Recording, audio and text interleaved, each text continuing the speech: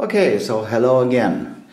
A new project for today. Do you remember this one? It's one uh, of the most cheapest solar chargers you can find. But that's amazing because it's working for more than one year. Okay, so it's rated like 60 amps. Oh, come on. Today I had a, I had a unpleasant surprise because I add another 300 watts hour of solar panels. And uh, suddenly the charging uh, current turns to maybe 17 18 amps. And I may say it's getting hot like crazy. Because this down here this is not a, a, a heat sink oh no way. No way. This is just a piece of uh, iron or kind of metal. I, think it's aluminium or something anyway. So what I want to do, I have one of these real stuff. That's a heat sink. I can call it a heat sink, the heat sink. So I want to transfer this somehow over here. Now I have to open it up to see how can I do that maybe. I will just apply some some thermal paste here and use the aluminium we already you see there it's it's fitting almost perfect. Maybe I'll keep this down here. Of course we have a better thermal uh, transfer or something. Uh, I have uh, this kind of uh, white stuff for for a thermic uh, transfer. Okay so uh, let me open it up to see what I can do. Yeah, it's time for dismantle.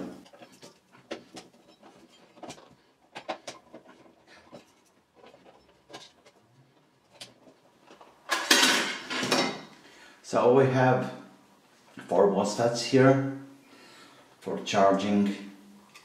And these are really really really getting hot. So they need help. They need help really, I really mean that. I, they really, really need help. So, I'm gonna start first with this one here. Clean everything, scrape it to the metal. Then I'll put some some thermic pads.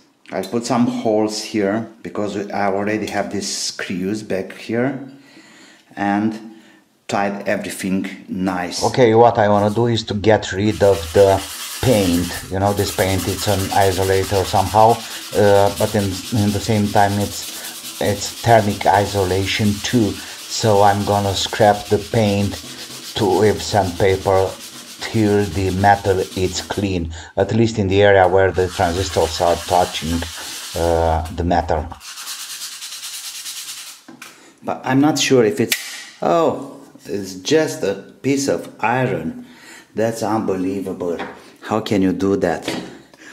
It doesn't have transfer at all. So finally I have to use this one. But I'll try to do uh, the best thermic transfer possible. Because now it needs only to transfer heat. Doesn't dissipate that. The, this big fellow here will do the job have these plastic things down here uh, a little bit worked I have to fit this aluminium sink in here. Ah, this is very easy to do. It shouldn't be a problem. And I already have these holes here for screws already. So all I have to do is to have the thermal paste put it here nice screws and back back uh, with the case.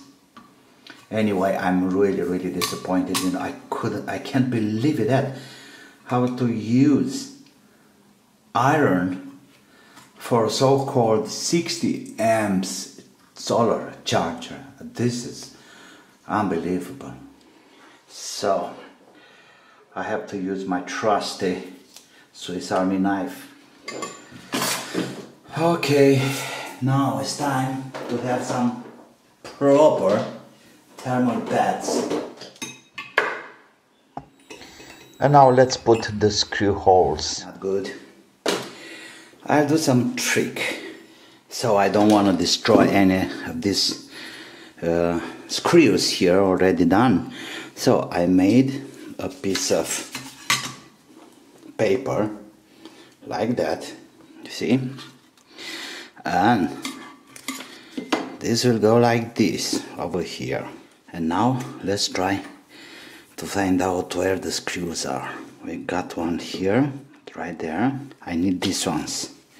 One, two, three, four. There, another one, another one, and the last. Ah, there we are.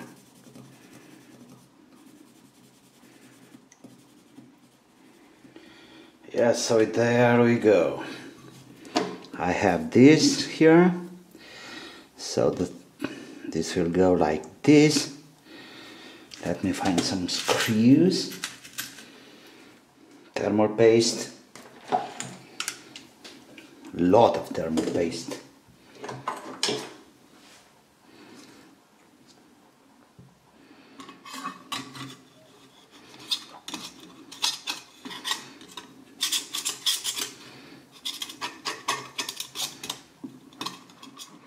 I don't want to waste my time on resources to have washers and all the other mumbo jumbos.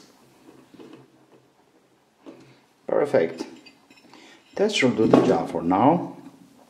All I have to do is to use a little bit of this here.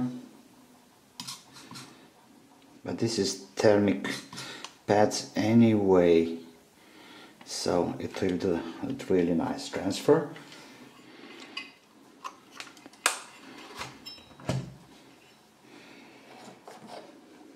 But the screws here. Don't over twist it. This is plastic. So if you push it too much that's why I'm using a hand screwdriver because I can feel it when it's the top of the end or how okay there we go. There we go. Now it's looking great. And I'm pretty sure it will do a really really great job. So I can't wait for tomorrow in full sunshine to see the results. Thank you for now. Have a good time and be safe. Bye bye